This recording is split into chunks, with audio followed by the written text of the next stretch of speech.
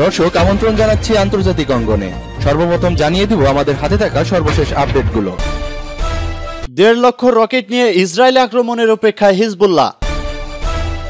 কাশ্মীর ইস্যুতে জাতিসংঘে ভারতের টুটি চেপে ধরল এরদোগান।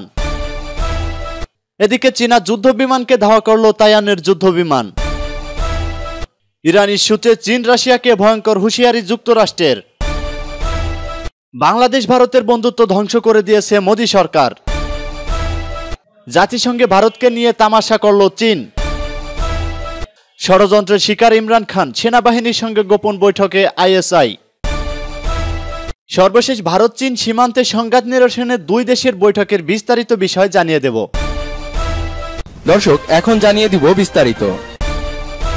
দেড় লক্ষ রকেট নিয়ে ইসরায়েলে আক্রমণের অপেক্ষায় হিজবুল্লাহ। গত কিছুদিন যাবৎ আমিরাত বাহারাইনের মতো কথিত মুসলিম রাষ্ট্রগুলোর সঙ্গে বন্ধুত্ব করে মধ্যপ্রাচ্যের নিরীহ ফিলিস্তিনের বুকে ছুরি মেরেছে ইহুদিবাদীর দখলদার রাষ্ট্র ইসরায়েল। এমন অবস্থায় ফিলিস্তিনে আক্রমণের ইঙ্গিত দিয়েছেন ইসরায়েলি প্রধানমন্ত্রী বেঞ্জিয়ামিন নেতানিয়াহু। যদিও কোনো ধরনের আক্রমণের সিদ্ধান্ত নেওয়ার আগে নেতানিয়াহুকে সতর্ক দিয়েছে পশ্চিমা বিশ্লেষকরা। মার্কিন মেগানিজম দ্য ন্যাশনাল ইন্টারেস্টের প্রতিবেদনে বলা হয়, ফিলিস্তিন সংগঠন হামাস ও ইসলামিক জিহাদের বিরুদ্ধে যুদ্ধের সিদ্ধান্ত নিলে বড় ধরনের সংকটে পড়তে হবে ইসরায়েলকে। কারণ সংগঠন দুটির শক্তি আগের চেয়ে বহুগুণে বৃদ্ধি পেয়েছে এবং তারা ইসরায়েলের হামলার উপযুক্ত সুযোগ খুঁজছে। প্রতিবেদনটিতে আরও বলা হয়, হামাস ও ইসলামিক জিহাদের সঙ্গে ইসরায়েল যুদ্ধে জড়ালে এর সুযোগ নিবে ইরান সমর্থিত লেবাননি সংগঠন হিজবুল্লাহ। লেবাননের এই সংগঠনটির কাছে বর্তমানে প্রায় দেড় লাখ রকেট রয়েছে। বিশাল এই রকেটের তাণ্ডব নিয়ে ইসরায়েলে হামলার জন্য তারা অপেক্ষা করছে। সুযোগ পেলেই তেল আবিবকে লন্ডভন্ড করে দেওয়ার চেষ্টা করবে হিজবুল্লাহ। যদিও অন্য বেশ কয়েকটি প্রতিবেদনে বলা হয় হিজবুল্লাহর রকেটের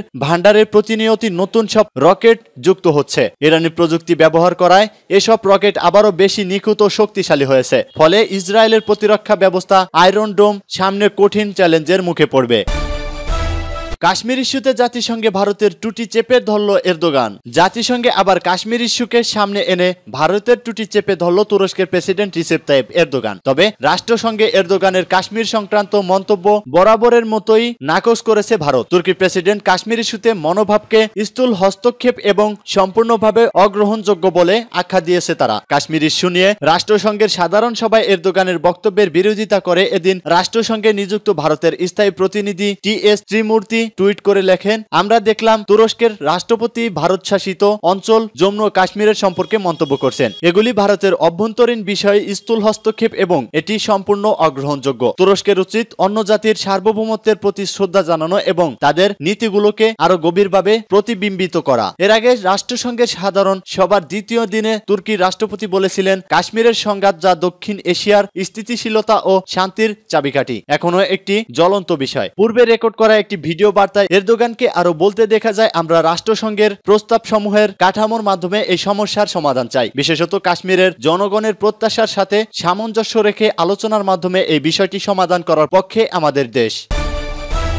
চীনা যুদ্ধ বিমানকে ধাওয়া করল তায়নের জঙ্গি বিমান। তাইওয়ানের আকাশ সীমায় প্রবেশের সময় চীনের একটি যুদ্ধ বিমানকে ধাওয়া দিয়ে তাড়িয়েছেন স্বশাসিত ওই দ্বীপের বিমান বাহিনীর এক পাইলট। গতকাল তাইওয়ানের প্রেসিডেন্ট সাই ইং ওয়েন এই পাইলটের বিরচিত কাজের প্রশংসা করেছেন। চীনের সঙ্গে তাইওয়ানের ক্রমবর্ধমান উত্তেজনার নতুন মাত্রা যোগ হয়েছে স্বশাসিত ওই দ্বীপে যুক্তরাষ্ট্রের পররাষ্ট্র দপ্তরের এক শীর্ষ কর্মকর্তার সফর ঘিরে। গত শুক্রবার যুক্তরাষ্ট্রের অর্থনীতি বিষয়ক আন্ডার সেক্রেটারি কেইথ প্রেস তাইওয়ানে দুদিনের সফরে যান। গত কয়েক দশকের মধ্যে এই দ্বীপ ভূখণ্ডে মার্কিন পররাষ্ট্র মন্ত্রণালয়ের সবচেয়ে উচ্চ পদস্থ কর্মকর্তা হিসেবে তাইওয়ান সফর করেন কেইথ তার এই সফরের সময় তাইওয়ান প্রণালীর কাছে দুদিনের সামরিক মহড়া চালায় যুক্তরাষ্ট্র। সেই সময় চীনা সামরিক বাহিনীর একটি যুদ্ধ বিমান আকাশসীমা লঙ্ঘনের চেষ্টা করলে তাইওয়ানের বিমান বাহিনীর এক পাইলট বাধা দেন। গতকাল তাইওয়ান প্রণালীর স্পর্শকাতর পেংঘু বিমান ঘাঁটি পরিদর্শনে যান তাইওয়ানের প্রেসিডেন্ট শাই। সেখানে তিনি বিমানের পাইলট এবং প্রকৌশলীদের বলেন, চীনা যুদ্ধ বিমানকে বাধা এবং ধাওয়া দিয়ে তাড়ানোর বিরচিত কাজের ব্যাপারে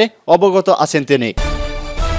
ইরান ইস্যুতে চীন, রাশিয়াকে ভয়ঙ্কর হুঁশিয়ারি যুক্তরাষ্ট্রের। ইসলামিক প্রজাতন্ত্র ইরানের কাছে অত্যাধুনিক সমরাস্ত্র বিক্রি করার ব্যাপারে বিশ্বের অন্যতম পরাশক্তি চীন ও রাশিয়াকে ভয়ঙ্কর হুঁশিয়ারি দিয়েছে যুক্তরাষ্ট্র। গতকাল মার্কিন দৈনিক ওয়াশিংটন এক্সামিনারকে দেওয়া সাক্ষাৎকারে পররাষ্ট্রমন্ত্রী মাইক পম্পেও এসব হুঁশিয়ারি উচ্চারণ করেন। প্রেসিডেন্ট ট্রাম্পের এই প্রতিনিধি আবারও ইরানের বিরুদ্ধে জাতিসংঘের অস্ত্র নিষেধাজ্ঞা পুনর্বহালের দাবি জানিয়ে বলেন, চীন ও রাশিয়া এখন যদি ইরানের কাছে অস্ত্র বিক্রি করে, তাহলে ওই দুই দেশের বিরুদ্ধে নিষেধাজ্ঞা আরোপ করা হবে। মার্কিন পররাষ্ট্রমন্ত্রী এমন সময় চীন ও রাশিয়াকে হুমকি দিলেন যখন তার দেশ জাতিসংঘ নিরাপত্তা পরিষদের বাইশশো একত্রিশ নম্বর প্রস্তাব লঙ্ঘন করে ইরানের বিরুদ্ধে অস্ত্র নিষেধাজ্ঞা সহ জাতিসংঘের সবগুলো নিষেধাজ্ঞা পুনর্বহাল করতে চায়। যদিও তিন ইউরোপীয় দেশ সহ জাতিসংঘ নিরাপত্তা পরিষদের সদস্য দেশগুলো একসঙ্গে বলেছে, ইরান বিরোধী নিষেধাজ্ঞা পুনর্বহাল করার অধিকার ওয়াশিংটনের নেই। মাইক পম্পেও তার সাক্ষাৎকারে ইরানের পরমাণু সমঝোতার ব্যাপারে ইউরোপীয় দেশগুলোর নীতির সমালোচনা করেন এবং এ ব্যাপারে ওয়াশিংটনকে সঙ্গ না দেওয়ার জন্য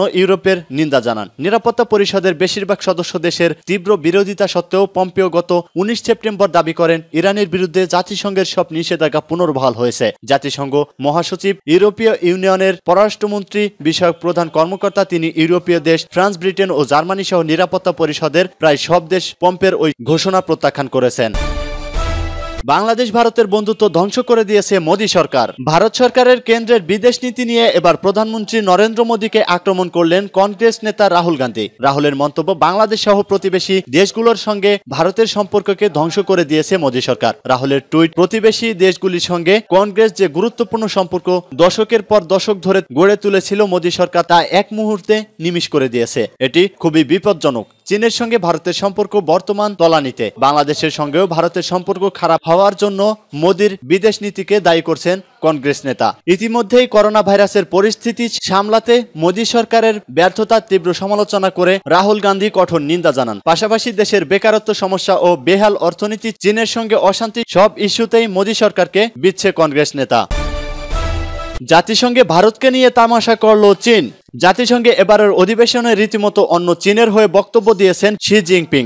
খোলস থেকে বেরিয়ে শান্তির বার্তা দিয়ে গেলেন তিনি। লাদাখ সহ ভারতীয় সীমান্তে যুদ্ধবাজ বজায় রেখেই বিশ্ববাসীর সামনে তুলে ধরলেন শান্তির বাণী। এজন্য ভারতকে নিয়ে তামাশায় নেমেছে জিংপিং কোন দেশের সঙ্গে শীতল বা উত্তপ্ত যুদ্ধে জড়িয়ে পড়ার অভিপ্রায় চীনের নেই। জিনপিং এর মতে, প্রতিবেশী দেশের মধ্যে মত পার্থক্য হওয়া স্বাভাবিক। তবে তাদের আলোচনার মাধ্যমে সমাধান করা উচিত। তিনি বলেন, চীন বিশ্বব্যাপী শান্তিপূর্ণ উন্মুক্ত সবসময় উন্মুক্ত সমবায় ও সাধারণ উন্নয়নের প্রতিশ্রুতি বৃহত্তম উন্নয়নশীল দেশ।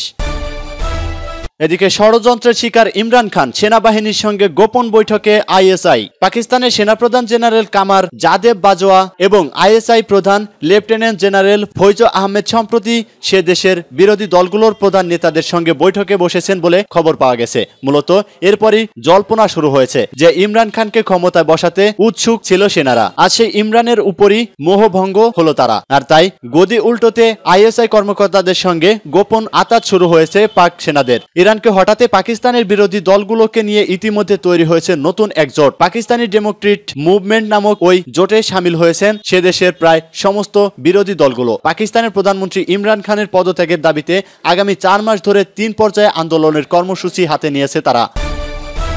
চীন ভারত সীমান্তের সংঘাত নিরসনের বিস্তারিত বিষয় এখন জানিয়ে দিব।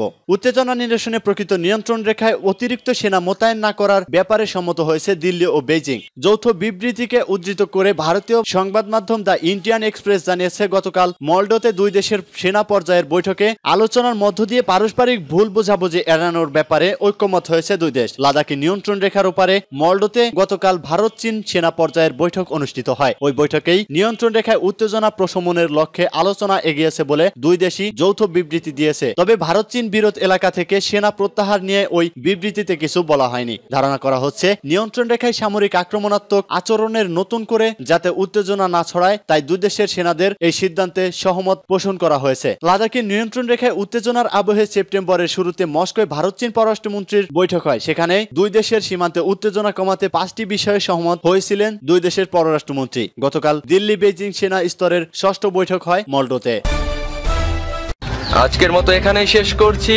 সবার আগে সর্বশেষ সংবাদ জানতে আমাদের চ্যানেলটি এখনই সাবস্ক্রাইব করে রাখুন। ধন্যবাদ এতক্ষণ সাথে থাকার জন্য।